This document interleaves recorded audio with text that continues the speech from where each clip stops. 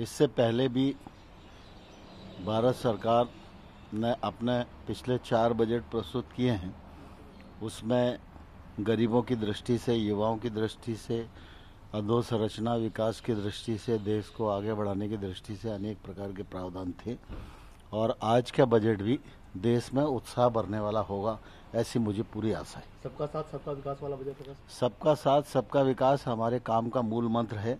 और वो मूल मंत्र हमेशा किसी भी भाषण में, किसी भी बजट में परिलक्षित होता रहा है और आगे भी होता रहेगा। सरकार का जो पिछले चार वर्षों से फोकस रहा है, पाँच वर्षों से, मैं समझता हूँ कि वो किसान रहा है, नौजवान रहा है और लघु एवं मध्यम उद्योग रहा है। सामान्य आदमी को राहत मिले, ये सरकार की नीति रही है। मैं समझता हूँ कि उसी आधार पर वित्त मंत्री जी बजट प्रस्तुत करेंगे। मैं मानता हूँ कि रेलवे में जिस तरह से निवेश इस सरकार ने बढ़ाया है, doubling, electrification, station development,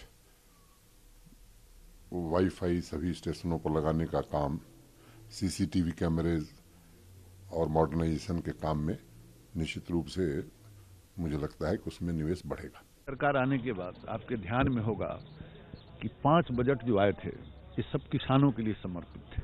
और सिर्फ़ भाषण में समर्पित नहीं थे। जब आंकड़े आप देखेंगे तो मोदी सरकार के पहले के पाँच वर्ष में, जो कृषि कल्याण मंत्रालय का आवंटन था, वो एक लाख इक्कीस हज़ार करोड़ का था। और मोदी सरकार के पाँच वर्षों का जो बैटरी आवंटन था, वो एक लाख ग्यारह हज़ार करोड़ इक्कीस हज़ार करोड़ का था। तो ऐसे भी दो लाख ग्यारह हज़ार करोड़ का था। माने दो गुना। और इस बार भी बजट आप देखेंगे कि किसानों के लिए समर्पित होगा और किसानों के सशक्तिकरण में निवेश मोदी सरकार की प्राथमिकता रही है और इस बार भी बजट में दिखाई देगा।